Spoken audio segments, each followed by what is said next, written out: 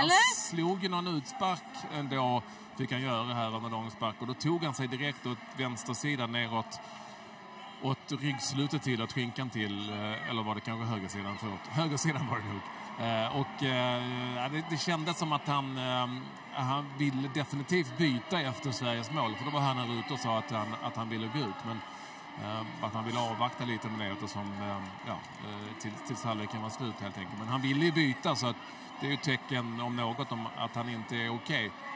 Sen kan det ju vara det att det, det är liksom en, en, man känner att det är en säkerhetsåtgärd. Men, men som sagt, det, det är ju inte bra. helt enkelt.